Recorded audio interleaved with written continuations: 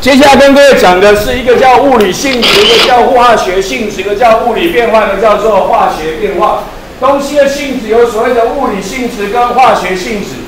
物理是就是只跟自己有关的性质，你头发的颜色，你眼睛的颜色，你的身高，你的体重，叫做你的物理性质。借由一些观察，简单的一些测量，感官就能够知道的性质，像你的体积、你的质量、你的密度、你的熔点、你的沸点，这样叫做所谓的物理性质。化学性质就是你会不会变成别人，怎么变成别人有关的性质啊？你会不会变成绿巨人的那个性质，叫做化学性质、化学性质？所以你会不会跟人家作用？会不会燃烧？可燃性？什么时候会燃烧燃点？这种叫做你的活性跟人作用的容易程度，这样叫做所谓的化学性质。化学性质，所以有物理性质跟化学性质。同样的，有所谓的物理变化跟化学变化。物理变化就是本身没有改变，本身没有改变，组成没有改变。前面讲过什么叫组成，构成原子的种类、数目跟排列方式。这些都没有变的，那个叫做所谓的物理变化，本质不变。重点叫做没有新物产生，三态变化就是个明显的物理变化。这有个溶解，刚才跟你讲这句话有问题，溶解问题，刚才到来跟你说，然后这个叫做物理变化。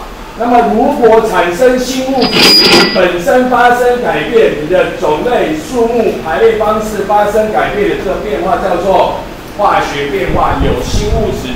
未来讲过粒子观点之后，我会更清楚什么情况下叫做物理变化，什么情况叫做化学变化。化学变化，所以像电解、化合、氧化还原，算这么多所谓的化学变化。刚刚跟你讲过溶解那个有问题，台湾的书上考试的时候都说溶解是物理变化，这句话是有问题的。有一些溶解是物理变化，糖溶在水里之后，糖还是糖。你说它物理变化 OK，可是氯化钠丢到水里会拆成钠离子跟氯离子，你说它物理变化就不太 OK 了。溴溶于水会变成氢溴酸跟次溴酸，当然不是物理变化。二氧化碳溶于水会形成碳酸，当然也不是物理变化。所以把溶解当做物理变化是有问题的，是有问题的。